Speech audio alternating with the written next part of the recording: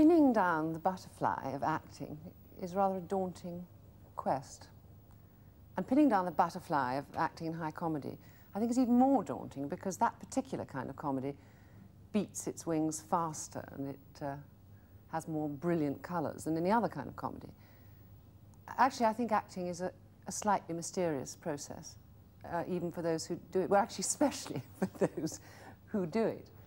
Uh, and I never thought of analysing what it was that happened to me or that I did when I was in a high comedy, and I've been in quite a few of them, until I was asked to teach, or really more or less forced to teach, a course on high comedy.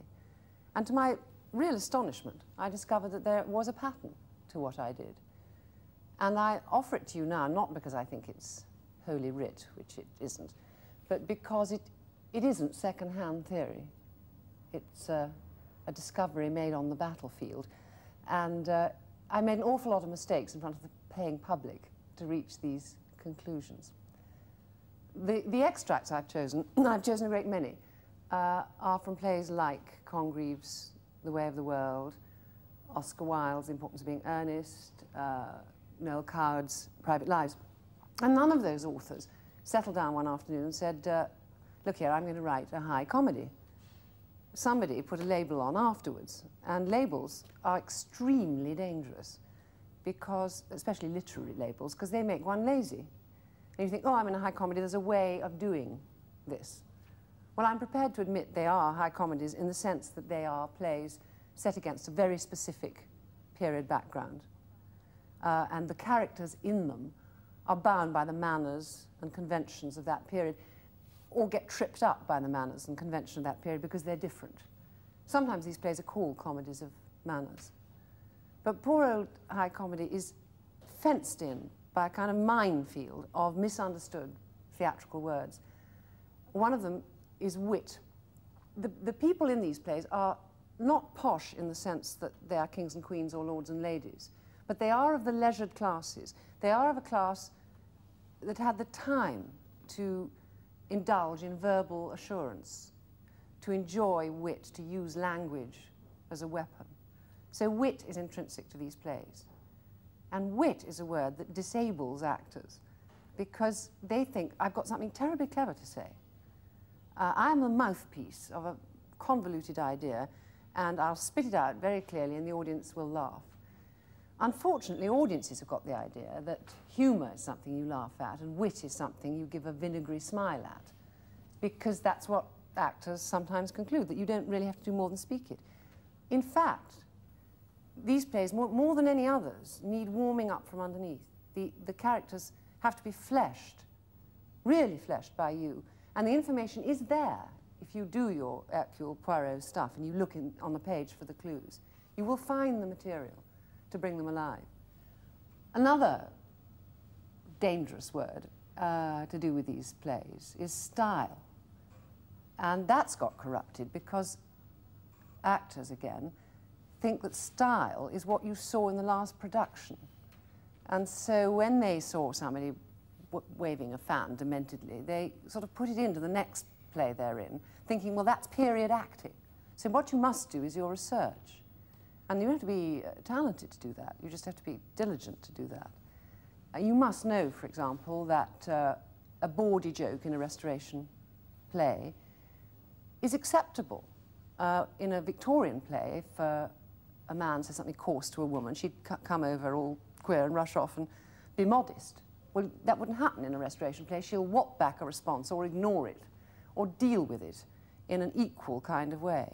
Um, you can bear a lot of bosom in a restoration play and not be a tart. You can, if you're a man, display a well-turned calf and sit like this in a chair and you're not a male model. Um, one needs to know those things. The real question is how to tackle these plays. And because I'm Queen Amnesia and my students aren't much better that I teach, I've invented a rather stupid mnemonic, initials, to remind me, which are S-N-E-T, SNET, pretty word, uh, which stands for subtext, naturalism, energy, and turning on an emotional sixpence. And I would like to have called turning on an emotional sixpence slalom, but then the mnemonic would have been SNES, and nobody would have remembered with two S's. Slalom is that uh, thing, as I'm sure you all know in skiing, when you come down the mountain and there's a course of posts which you have to twist very fast, in and out, very skillful, difficult business. So to begin with the first one, subtext, uh, an important and recurring feature of high comedy is the fact that people very rarely say precisely what they mean. Language is a kind of decoy from the main intention. Uh, for example, in um, Design for Living by Noel Coward, Gilda says, there isn't any more mustard. And what she actually means is, when are you going to seduce me? This is clear to the audience without her hammering it. In The Way of the World, Millamant says, I think I'll endure you. And she actually means, I'm dying to marry you. Uh, Gwendolen says, I'm so sorry, dearest Cecily, if, I, if this has been any disappointment to you. And she means, I am thrilled to bits to be messing up your plans, you little bitch. Uh, now, the, the beauty of subtext is that you only have to identify it. That's all. And it permeates how you say the line. Now, if you do more than that, it isn't irony, which is what we're looking for. It is nudge, nudge. So you have to trust it. You have to it may happen in rehearsal that you actually speak the subtext and, and find out that way precisely what you are thinking, what you are feeling, what you want, as opposed to what you are saying. When those two are at, are at odds, what you want and what you say, that is irony, and that is the kind of subtext you're dealing with in these plays.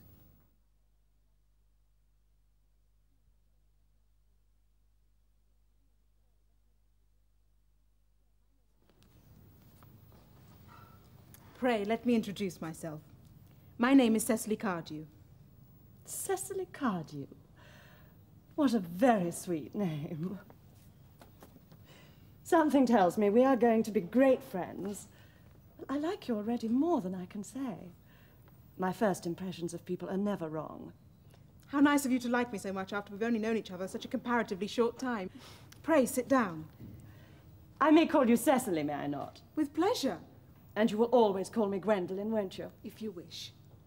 Then that is all quite settled, is it not? I hope so. Yes, good. Let's just take that again now, that section, and substitute the truth before the spoken top layer. Yes, and I'll stop might, you if I think, I think you haven't quite got it. All over. Mm. Pray let me introduce myself. My name is Cecily Cardew. Cecily Cardew. What a very nauseating provincial name. What a very sweet name. Something tells me that I'm not going to like you at all. Something tells me that we are going to be great friends.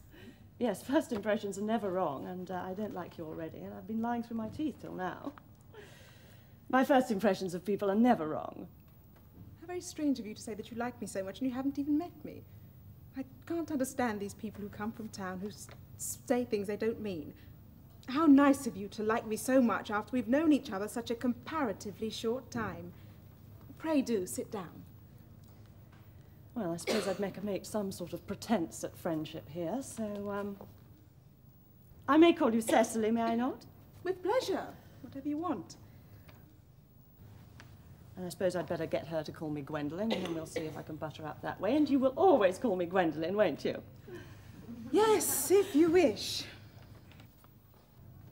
Right, we've got that over with. Then that's quite settled, is it? Yes, I do hope so.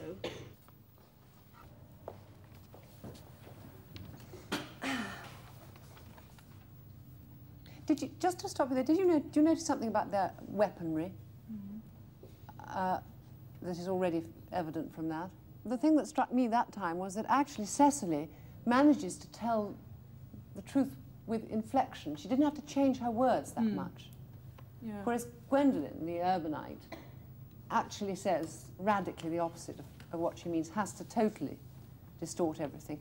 So the kind of corresponding um, urgency, gush if you like, of somebody who's turning the truth absolutely on its head, which she is, uh, is needed, and it is already bumping you up in what you say. Uh, yours isn't. It's actually quite comparatively subtle because you're fairly near the truth, the way you choose to phrase it. Mm.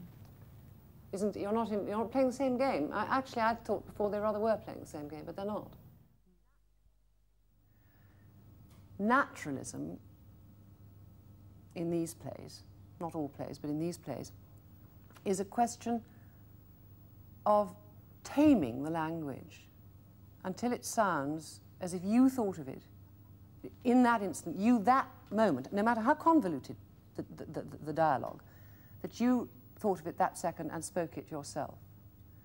Uh, you have to be so at home with the subclauses and the polysyllables that you can whack them about like a dead animal and they will do what you want. And I think that's true of all plays, but with these ones, because the language is so defined and strong, sometimes one tends to wallow in it and expect it to do the work. But it doesn't, it just disappears unless you sustain it uh, from underneath. Right, well, we're going to do a bit of the way of the world. This is the wooing scene um, between Mirabell and Millamant. Uh, you know that people in restoration plays, their names are a huge clue to, to what they are. What do you think uh, Mirabell signifies? Anybody got any notions what it might... Admire beautiful women. Yes, admiring beauty. Uh, Millamant? Sort of thousand lovers. Thousand lovers, exactly. It's a very mannered scene in a lot of ways, but fundamentally it is an extremely erotic one. Uh, these are, well, they are a fop and a coquette. I mean, very well dressed, witty, um, with all the, the, the, sort of significant characteristics of the high class people of the time. They're most of all a man and a woman. And if we lose sight of that, then it becomes rather a brittle ball, this scene. So what I really want to do is to find out the fundamentals and well, make sure we know what the language means. Find out the fundamental moods and then start really trying to use the language properly.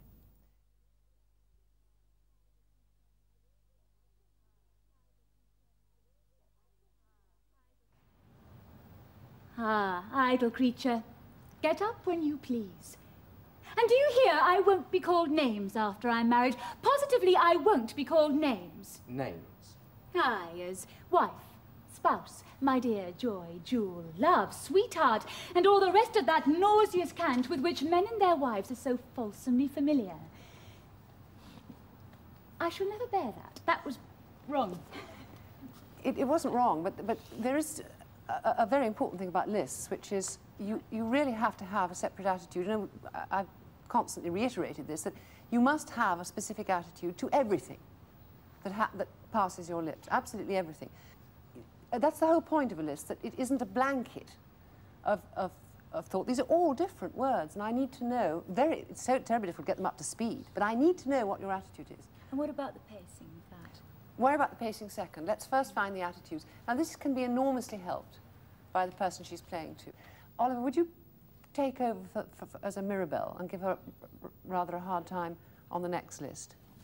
Um, because this one, again, is very important to try to understand why she extends certain bits of it. Perfect, perfectly simple request suddenly has another bit tacked on. Why? So let's go on from there. Have you any more conditions to offer? Hitherto, your demands are pretty reasonable. Trifles? As liberty to pay and receive visits to and from whom I please. To write and receive letters without interrogatories or wry faces on your part. to wear what I please. And to choose my conversation with regard only to my own taste to have no obligation upon me to converse with acquaintances, because, no, to have no obligation upon me to converse with wits that I don't like, because they're I'd your never, acquaintance. I'd never thought. Or to be intimate with fools, because they may be your relations. My, my relation... To come to dinner when I please. To dine in my dressing room when I'm out of humour, no, without giving a... a reason. To have my closet inviolate to be oh, sole empress of my tea table, which you must never presume to approach without first asking leave. And lastly, wherever I am, you must always knock on the door before you come in. Why are you suspicious? These things subscribed. These articles. These articles. Sorry, I was wondering whether you wanted me No, to no, go I. I, I, actually, I was beginning to believe you. Oh. I really was. I, was I kept waiting for you when you could Uh, stop. it- you were doing this thing which I so want, which is new minting the thought. And it was when you began to really get in your way and you began to forget the words that you came whamming back with something with sufficient force and, and definition for, for me then to believe in. It just came up several notches. And your concentration came up to get it across to him. And then, then suddenly it was in 3D for me. There is one other thing about naturalism, which is that because it takes quite a long time to tame it and to make it your own, uh, you, you will crank up to speed. And then, having done that, uh, you will be as clever and as agile as you, the character is. And it is the most wonderful feeling when that happens. It's like swimming through silk. You are so powerful because you're as clever as they are. To be as clever as Beatrice, Benedick, Mirabell, Millamant, it's terribly heady. It's a thrilling experience.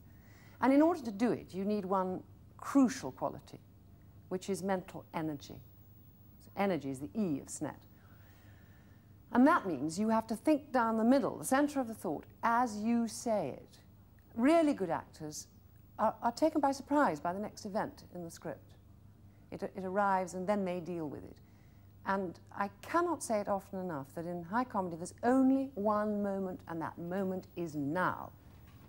You also need the kind of energy that brings to life people referred to in the script or events or anything like that referred to in the script. I'm thinking specifically of, I was in a play called The Women, which is actually more of a satire than a high comedy, in which there are about 30 something women's parts. I think only about 18 of us played them. And they talk incessantly about uh, their husbands, their lovers, their exploitative employers, none of whom ever appear on the stage. And it was absolutely vital that we, the cast, all had an idea about these offstage men. And so we would bring in pictures of the people we thought were like the man we were married to, or we described them.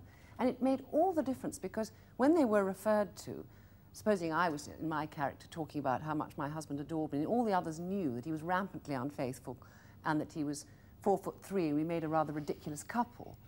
You know, there were little slithery glances going between them which enriched the text enormously. Now, it's easy to say um, and hard to understand, I think, but it's easy to prove. Would you mind reading for me a little bit from School for Scandal by Richard Brinsley Sheridan, which uh, is a gossip scene. It's, uh, I, I would say, um, fairly malevolent gossip scene, but of course passes muster socially. These people meet regularly and tear apart the reputations of various other people.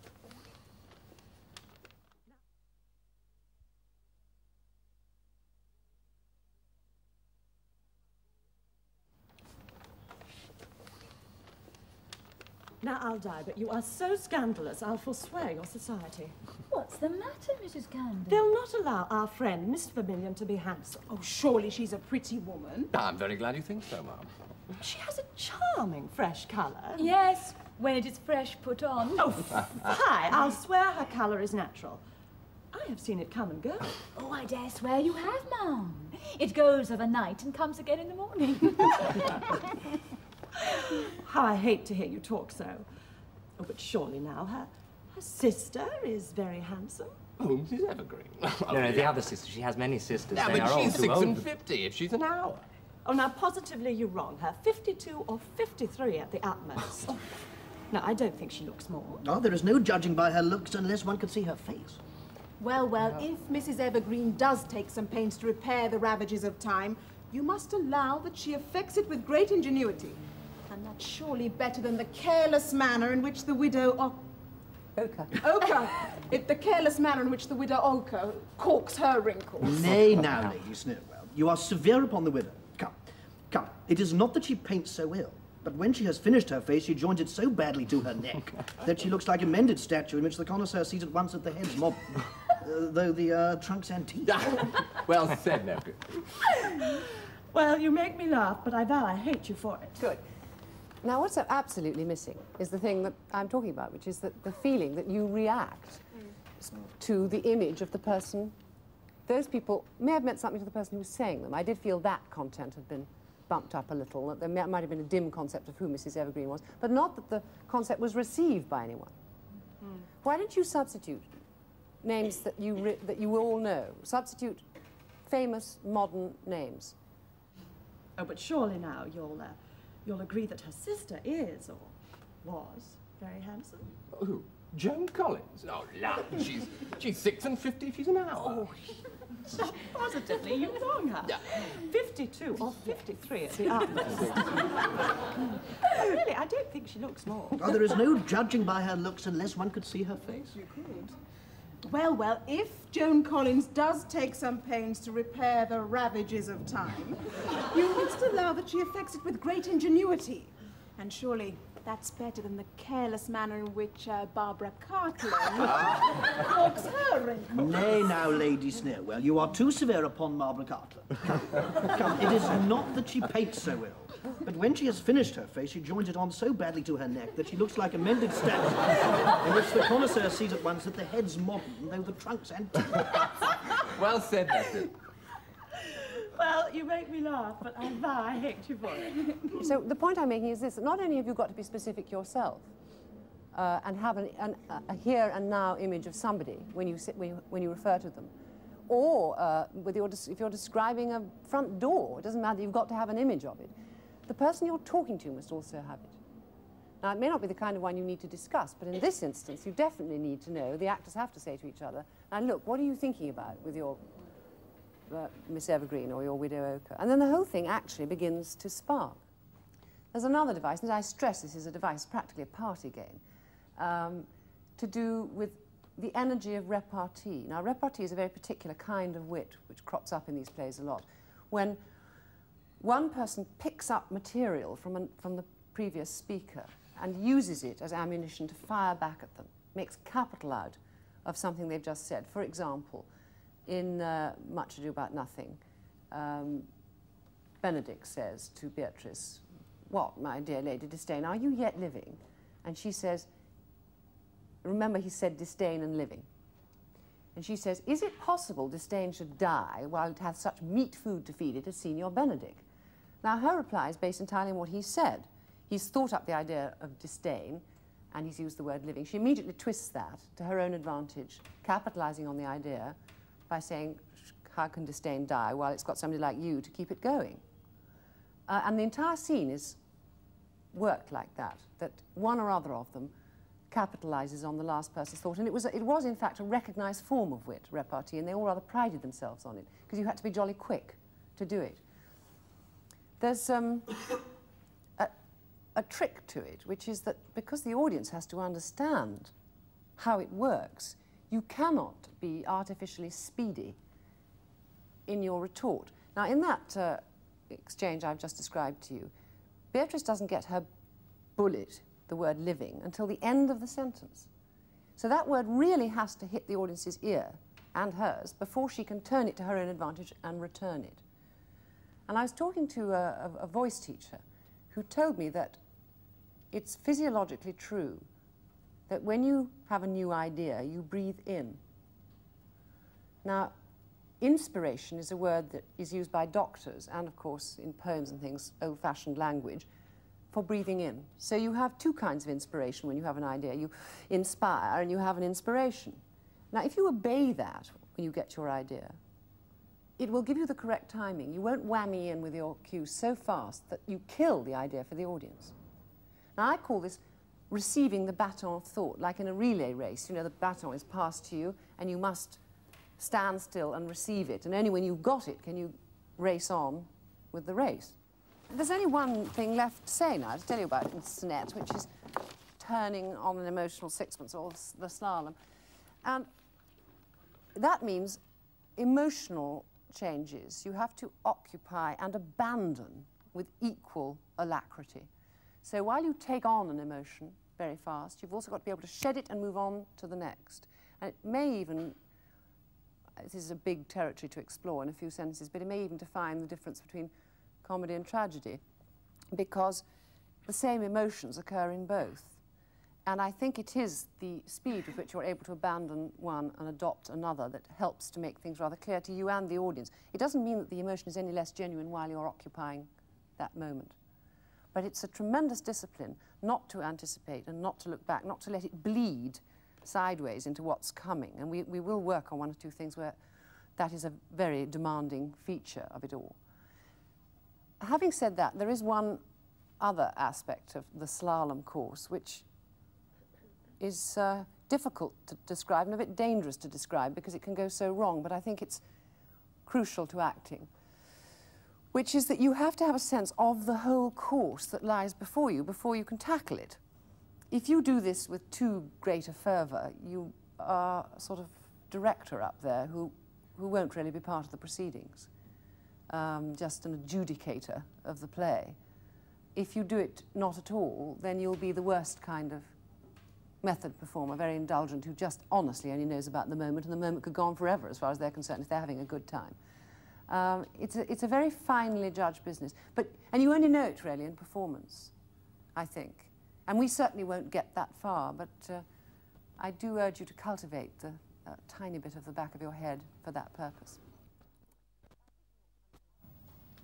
Look, I think we ought to do this slalom business. And I think the slalom course to end all slalom courses in British drama is actually in the rivals, in, mostly in the hands of the character Falkland, who's a very volatile fellow. And before this scene, which we're going to look at, he's been teased by Jack Absolute and Bob Acres and been told that uh, his fiancée, Julia, has had the temerity to enjoy herself at a ball where he has not been in the country. And he goes completely bananas and becomes embarrassingly hysterical. Uh, he refers to it rather lightly in this scene. And so it's necessary that we all know that he's already disgraced himself in this context. He's come back to check up on her. And within this uh, scene, he makes extraordinary changes of attitude. Now, jealousy is actually not a very funny emotion, and when it's used in some plays like Othello, we know the kind of effect it has on an audience. Uh, what is it about a serious emotion like jealousy in a comedy that makes it funny? And I think one of the things is the speed with which it is abandoned, altered, yeah. considered. It's the most difficult thing to do because you have to identify what the emotion is, occupy that emotion totally for that moment, and then abandon it and go on to the next. And he has, in one speech particularly, about 15 of them, one after another. I uh, picked up this edition of The Rivals, and I've got a slight prejudice against academics who write things about plays. I honestly think they look at them in a different way from those of us that have to get up and do them. And I've always thought this scene was extremely funny when it's done well. And it's described here um, uh, that the scenes between Julia and Falkland are boring, it says here. Julia especially is given an artificial high-flown language to speak um, Sheridan is putting on his official literary style. He's sending up literary style. There was a kind of uh, playwriting called sentimental. It was the name of a style. And Sheridan is mocking it in this scene. He does give them rather artificial diction. Uh, it doesn't lessen the extent of their feelings at all. You've got to get your tongue and your brain in harness over this and, and lick this language into shape and make it yours. Uh, because it does express what they feel. And the fact it's high flown is only a byblow of it. So try to treat it as if it weren't, and it will do its own work. Try to tame it. At the beginning of the scene and again at the end, mm. he's on his own and he's talking. And yes. Who's he talking to? I mean, I think he's talking to himself in the way that one does when you arrive at the door of the doctor's surgery and there's nobody there, and you say, "But he told me nine o'clock," and you're not talking to anyone. You're voicing your own frustration. Yeah.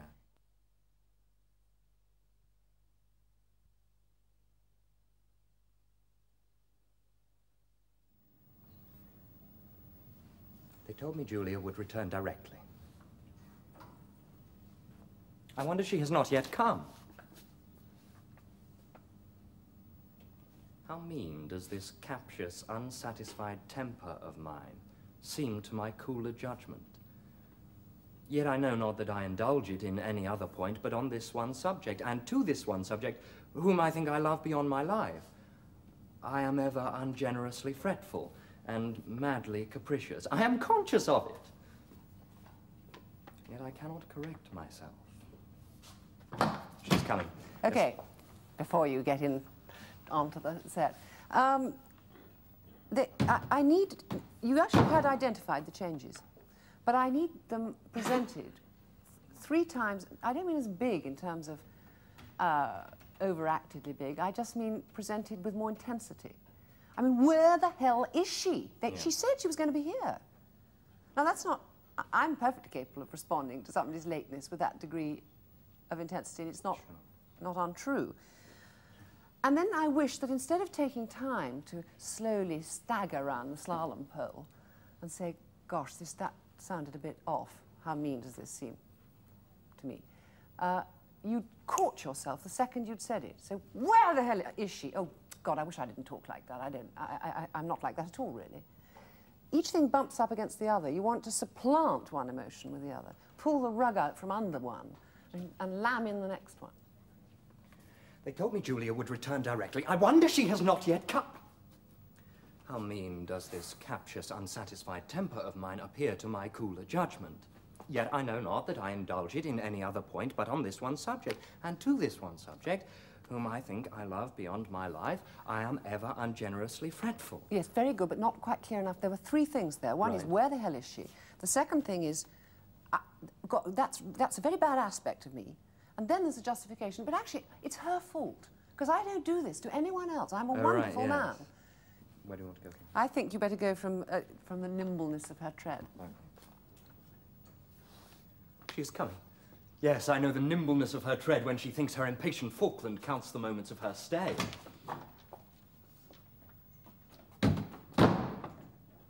Hadn't hoped to see you again so soon. Could I, Julia, be contented with my first welcome, restrained as we were by the presence of a third person?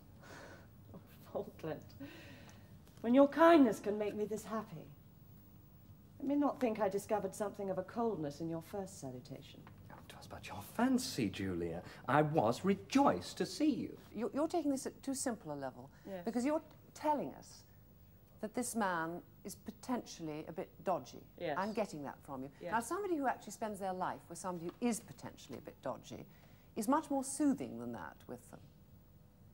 If what you're really trying to do is avert disaster, don't give me the message that we're dealing with a madman here. Yes. Just be very kind and firm and good until he actually snaps. You really did sound as if you've got a hy- hypo- hypodermic in your back pocket when you came on and were preparing to sedate. Say that you thought of Falkland in the dance. I never can be happy in your absence. Believe me, Falkland, I mean not to upbraid you when I say that I have often dressed sorrow in smiles, lest my friends should discover whose unkindness had caused my tears. You were ever all goodness to me. Oh, I am a brute when I but admit a doubt of your true constancy. Right, say that again and say it with much more emotion, and then say it again with much more emotion. Okay. Three times. You were ever all goodness to me. Oh, I am a brute when I admit to it, but admit to a doubt of your true constancy. And again. You were ever all goodness to me. Oh, I am a brute when I but admit a doubt of your true constancy.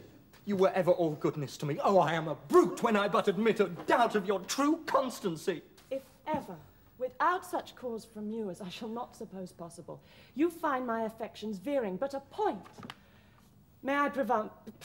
Yes, she's practically taking his temperature now. It's, Yes. it's uh, good boy. You know, you've got Yes. the point and uh, Yes. now calm, calm down. And it's pretty, almost sort of holding his hands. And Yes. very Right, good. yeah. Very good. You see, it, it, it isn't dishonest and it is funny when he suddenly does one of those Mm. Right, tired things.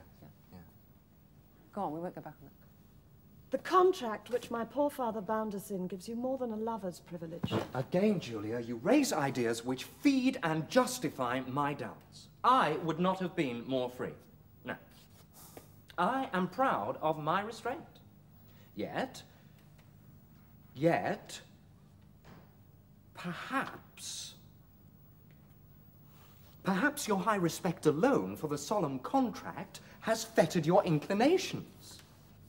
How can I be sure, had you remained unbound in thought and promise, you would still have... Oh, wrong. Uh, it, it was rather good, that drive, because uh, throughout the play, and, and a couple of times in the scene, the word yet is the most wonderful uh, slalom post for him. He Right, starts off with one view, and he kind of swings around the post on the word yet and comes out with a completely different view Yeah. on the other side. Yeah. I mean, it's, uh, it's uh, for example, he says, I, I'm quite conscious of being incredibly badly behaved. I'm, I really can't do anything about it.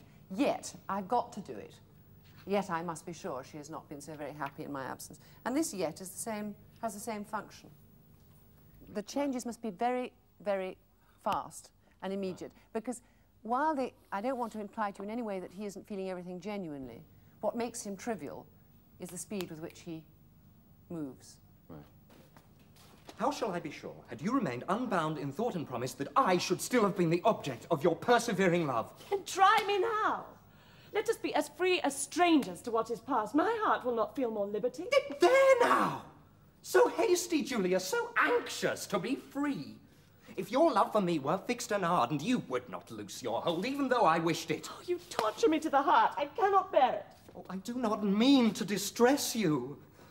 Um, if I loved you less, I should never give you an uneasy moment.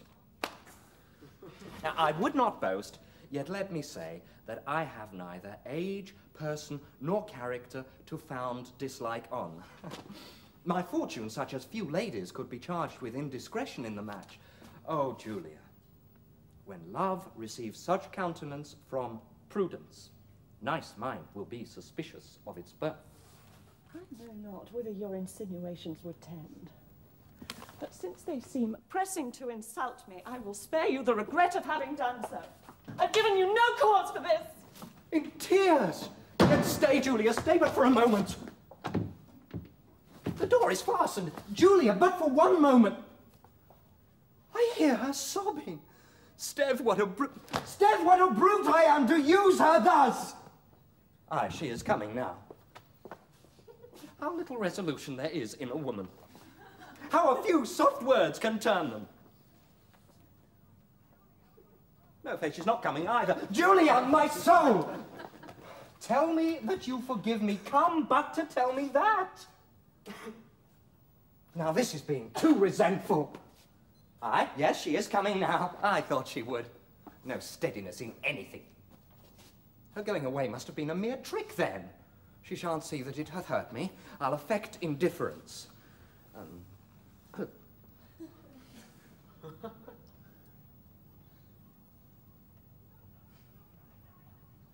No, don't, she's not coming neither! No, don't intend it, I suppose. Now, this is not steadiness, but obstinacy. Yet I deserve it. Sorry. Yes, it was good. There were some very good ones there. Uh, I mean, I think one of the, the tightest slalom posts, this is not steadiness but obstinacy, yet I deserve it, I mean, is, a, is an extraordinarily compact Yeah. change of attitude. The, you're absolutely at the right kind of level. It actually helps, curiously enough, that sounds extremely mundane, to mark a script in different colours uh, when the changes are as tight and as complex as this of mood. So that in the preparation process, you actually have a visual feeling of change, change, change, change, and then it becomes second nature and you don't ever think about it in that form again. But otherwise, they sort of upon you and they've gone past before you fully f- identified them and filled them. Did you, did you find that Yes. I noticed one or two getting into a kind of blodge of Yes. emotion instead of being Yeah. absolutely defined? Yeah. Let's have a go at this bit of private lives, which is the towards the very end of Act Two, which is a an extraordinary kind of uh duo of a, of a scene, very demanding, with, with just the two of them until the very, very end. And the sequence of the scene, one of the reasons I've chosen it, is that it's a series of rows, one after another, like a staircase. Um, the, the mechanics of the row and the weapons they use are different every time. Sometimes it seems almost polite. Sometimes it's sarcasm. Sometimes it's pure rage. And there may be plateaus, but nothing lessens all the way through.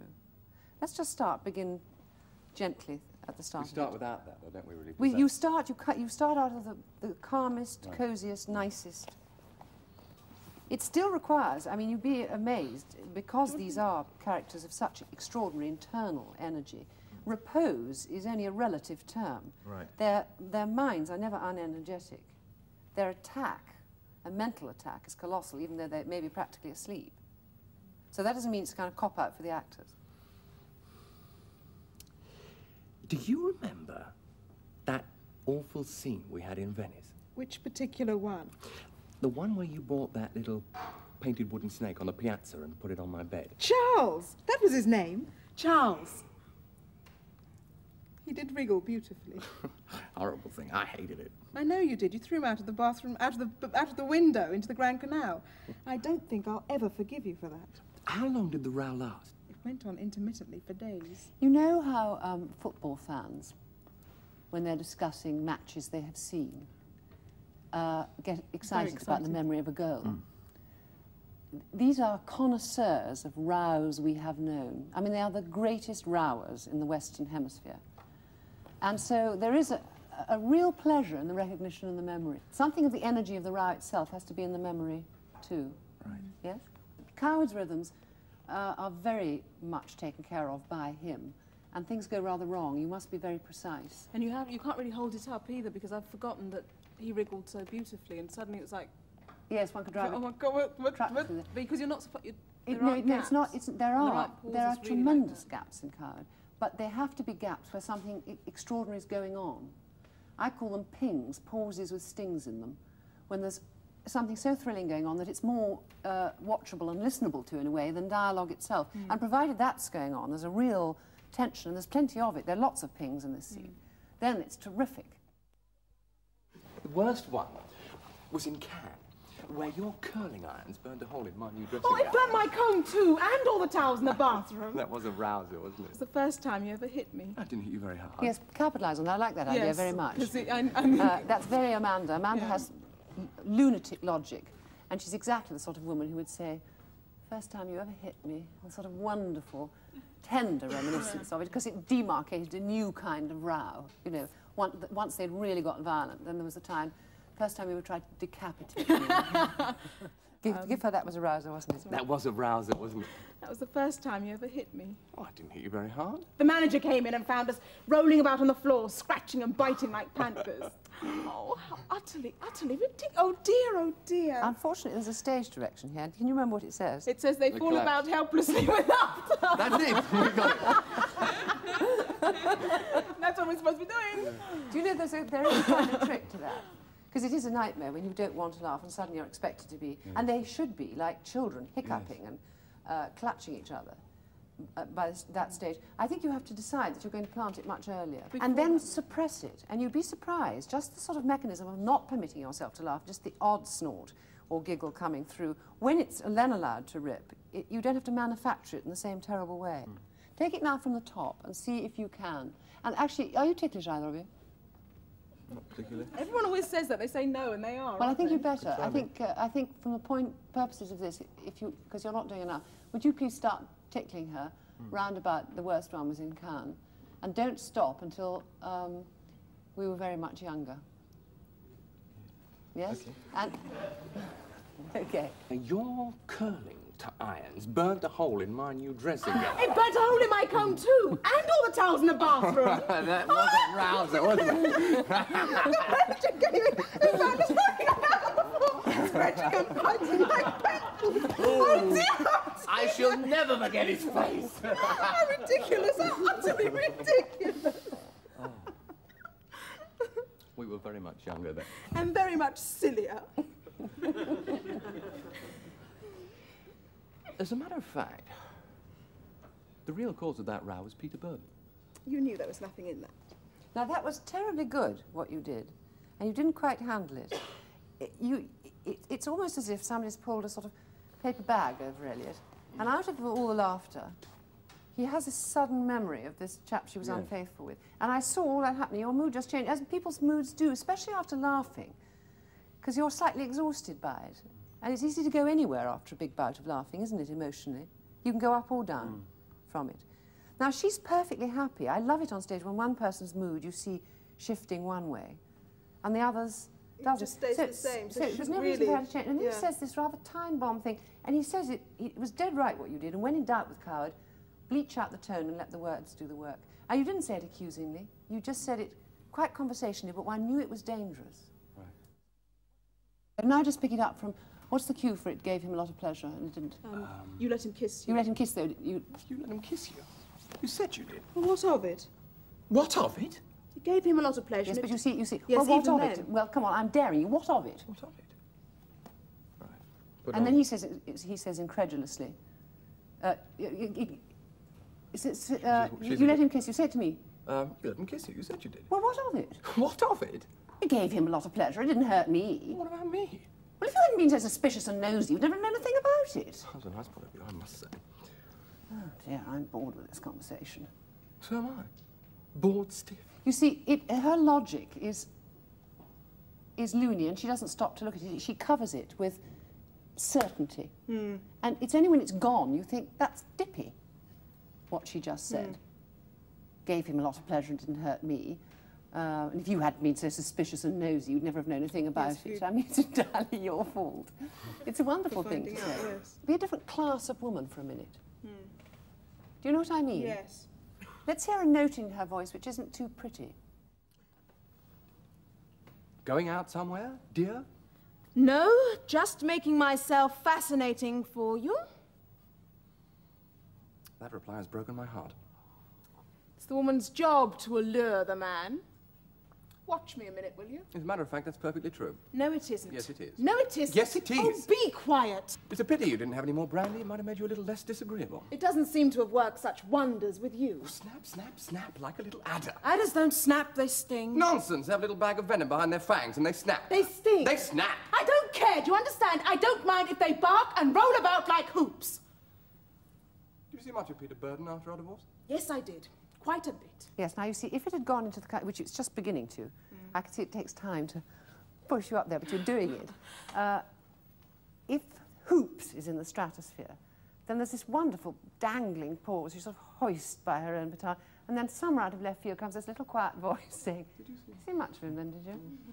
Uh, and it's a very, it's a, I mean, I hate to discuss laughs. It's, we, we- you know how actors are so pathetic, never say the word laugh. Say things like, I think we might get a beat there, or whatever. But there might, there might be a beat as a result of um, you saying that. If the pause, it's a pause that works. And it only works if you carry it into that point of, of absolute lunacy. Anyway, well done. I'm going to uh, replace you two uh, with John and with Jane. Uh, I'm going to ask them to do something terribly difficult, which is to pick it up. So I suggest that if you two come in here, what we'll do is we'll take the few lines before this, and if you'd like to, um, to play them like kids, absolutely like children going for each other, just to make yourselves maniacal, come, come, come in there. A, just get yourselves into any kind of, any old frenzy, nothing to do with this play, to the point where uh, it's um, uh, rolling about like hoops. And then segue into the next sec- section once you've got your irritation up. I mean, just play fury with each other. I don't care how you do it, as children or just as two furious adults. Don't let's be subtle, because I'm going to pick this up from the next section. Snap, snap, snap, just like a little adder. Adders don't snap, they sting. Nonsense, they snap. No, they They sting. snap. They sting. They snap. They sting. They snap. They jolly well I don't care what I tell you. They bloody well snap, and don't you? I don't care if they sting, snap, or whatever they do. I don't care if they roll about the floor in hoops. Do you understand? Okay, keep going. Rest of the scene. Did you see much of Peter Burden after our divorce? Yes, I did. Quite a lot. I was crumpled up my script. I suppose you let him kiss you a good deal more then, did you? Mind your own business. You must have had a riotous time. Very enjoyable. Now it's lo- it's gone downhill Yes, again. it But in fact, It's there was some mar- there was some marvelous capital to be made out of that, because the way you were both kind of shuddering and exhausted from the cushion throwing is exactly the internal feeling, whatever's going on on the top, that they should have after their last bout each time. It is precisely that, and so the tone that you took to because you actually had to cover it to get on with the next bit. Yeah. And that's exactly what happens. And that was the nearest I've heard today, when you embarked on the next section, of really how it should be the sort of control of ice over a cauldron internally. Let's go from uh, I've only had three minute liqueur glasses of brandy. I think I mentioned once before that I've only had three minute liqueur glasses of brandy the whole evening long. A child of two couldn't get drunk on that. On the contrary, A child of two could get violently drunk on only one glass of brandy. Very interesting. How about a child of four, and a child of six, and a child of Oh, nine? do shut up. Um, sorry, my fault. More, vul more vulgarity. Let's see that fishwife on that. You see, uh, really? you I was see, thinking you I see. becoming too fishwife. No, it can go no, no. Uh, you see, you've got that wonderful tone on.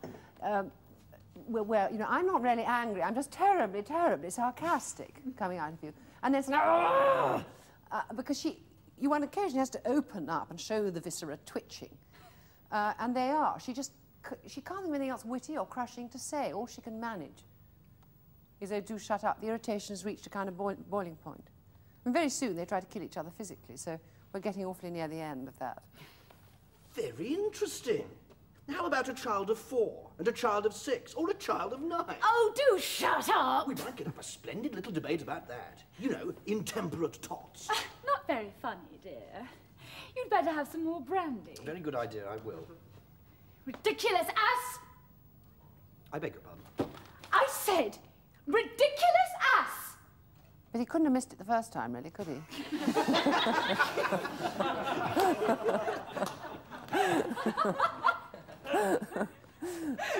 I'm afraid it's one of, it should be one of those sort of ridiculous out of the corner of the mouth. And then Slightly too the top. it's extraordinary. Once you start to sing the tune, you know, don't you? I mean, when you both hit that uh, exchange about on the contrary, uh, child of two, uh, all, the rhythms, I, don't, I think they're inescapable in some parts of this play. Um, he, he's pinned them onto the page, and it's only right, really, when you're singing his tune.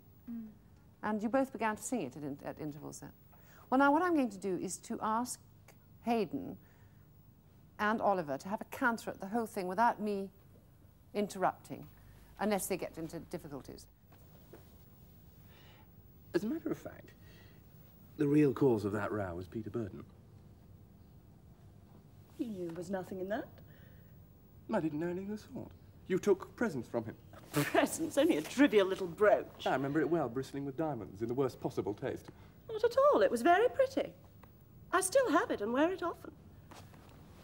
You went out of your way to torture me over Peter Burden. No, I didn't. You worked the whole thing up in your jealous imagination. Well, you must admit, he was in love with you, wasn't he? Just a little, perhaps. Nothing serious. Well, you let him kiss you. You said you did. Oh, what of it? What of it? It gave him a lot of pleasure and it didn't hurt me. What about me? If you hadn't been so stupid and nosy, you'd never have known a thing about Well, it. that's a very nice point of view, I must say. Oh dear, I'm bored with this conversation. Well, so am I. Bored stiff. Want some brandy? No, thanks. I'll have a little, I think. Don't see why you want it. You've already had two glasses. No particular reason, anyway. They're very small ones. Seems so to go on and on and on with a thing. You can hardly call three liqueur glasses in a whole evening going on and on and on. It's become a habit with you. There's no need to be so grand just because you don't happen to want any yourself at the moment. No, don't be so stupid. Really, Amanda? What? Nothing.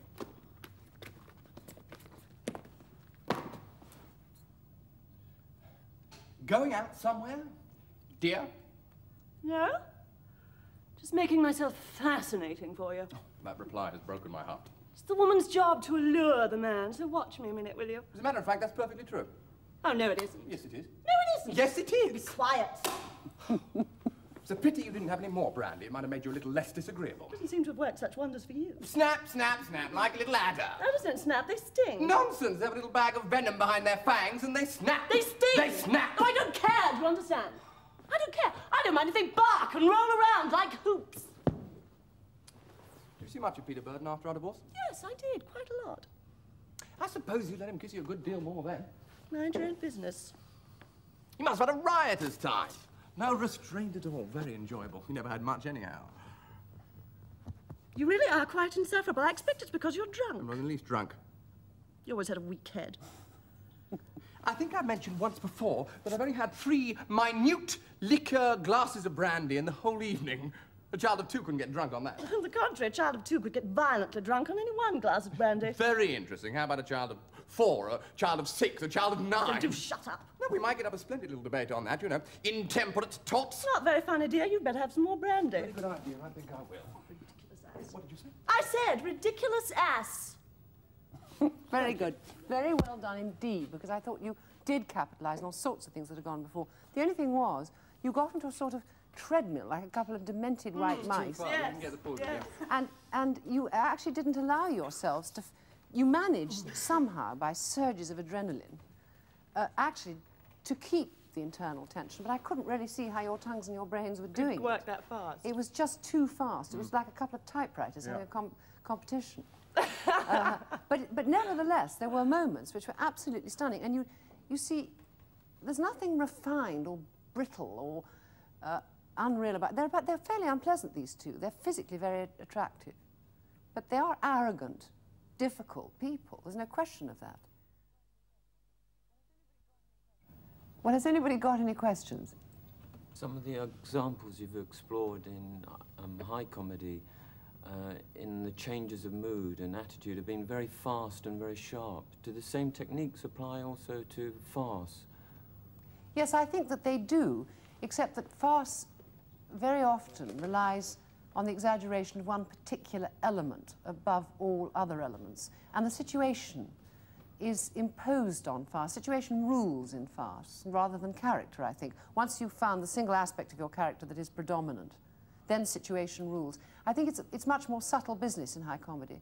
But the speed of the changes, I chose bits where the speed of the changes was phenomenal to make the point.